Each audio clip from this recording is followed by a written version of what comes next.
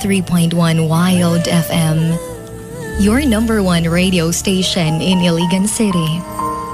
It's emotions going wild time with your hugot babe. This is Sugar Dolly. Usa ba ka sa mga gikilig? Ug na fall sa mga linya ang gipang storya niya sa imuha? Unsa ka kadali mahagit sa mga storya? Usually, maugid niya ang mga linya sa mga taong pa-fall. Di na mawala ng kauna kay pakaslan para batika. Anasay mo ingon nga ikaw jud ang pinakanindot nga butang nga ming-abot sa ako ah. Di pud mawala yung hindi ko kayang mabuhay nang wala ka. Napoy uban nga moingon sa imuhag karon pa jud ko na in love ug ingon ani ba. May iba naman na sinasabi sa yung liligawan talaga kita araw-araw. Yung iba naman sinasabing wala talagang makakapantay sa pagmamahal ko sa'yo. Napoy uban nga musaybit pagyug ingog, ikaw ra jud ang pinakagwapa or pinakagwapo nga tawo sa kuang panglantaw.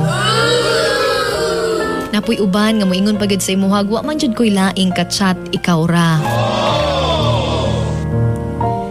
Di pud na mawala kana moingon siya nakita na nako akong future with you.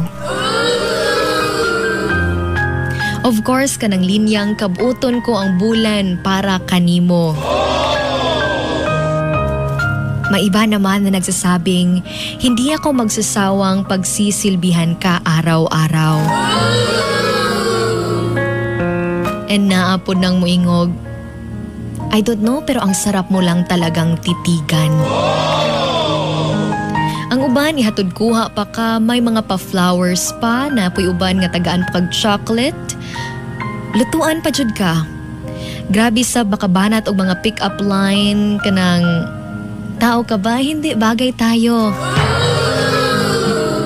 Ang uban mag-effort jud na para ma-fall lang ka sa ilaha.